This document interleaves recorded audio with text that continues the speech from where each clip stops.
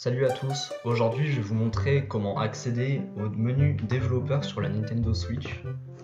Euh, donc cette méthode en fait, euh, pour lancer le mode, ça va être la même pour lancer des ROM.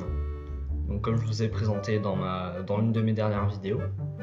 Donc ce qu'il va falloir faire, euh, dans votre carte SD, si vous avez plusieurs fichiers, il va falloir les mettre dans un dossier à part pouvoir lancer justement la méthode pour le dev menu. Personnellement, je vais prendre mes fichiers de SXOS ainsi que toutes mes ROM et je vais les mettre dans le dossier SX. Une fois que tout y est, euh, vous pouvez laisser ces trois fichiers s'ils y sont déjà. Ensuite, il va falloir télécharger ces deux-là.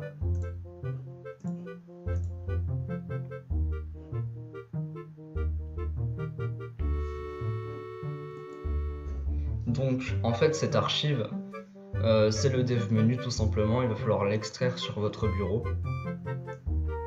Parce que si vous mettez juste les deux dossiers comme ça, c'est pas bon. Donc je récupère l'archive et je fais extraire vers euh, le nom de l'archive. Ensuite, pareil, vous prenez l'archive atmosphère et vous mettez tout à la racine de la carte SD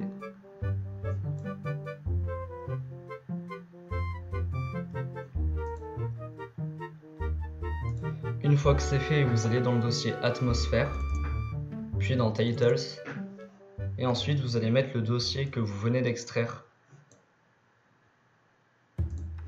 Une fois qu'il y est, vous n'avez plus besoin de votre PC et vous pouvez enlever la carte SD. Alors, euh, l'enregistrement de mon micro avec mon téléphone n'a pas marché. Du coup, je vais commenter sur la vidéo que j'ai enregistrée. Donc, à ce moment-là, je vais vous euh, montrer qu'il faut bien lancer la Switch en mode RCM et ensuite injecter le payload EKT. Donc là, c'est ce que je vais faire. Voilà.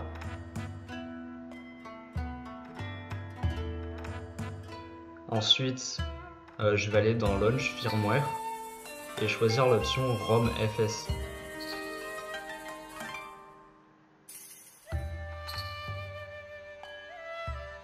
Maintenant, la Nintendo Switch va démarrer normalement.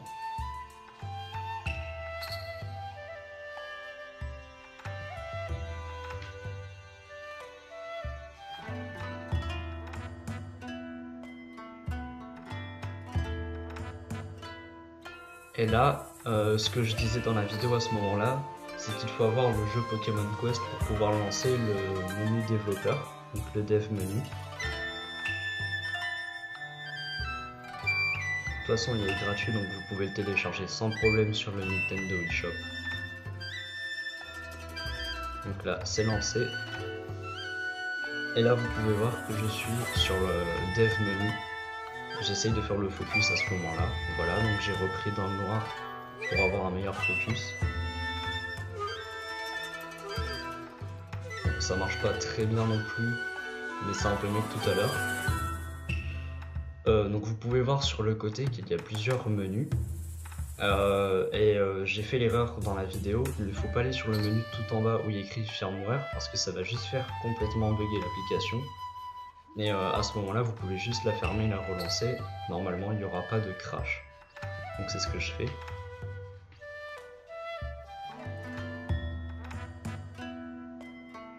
Voilà, donc là je suis retourné dessus. J'essaye de faire le focus encore.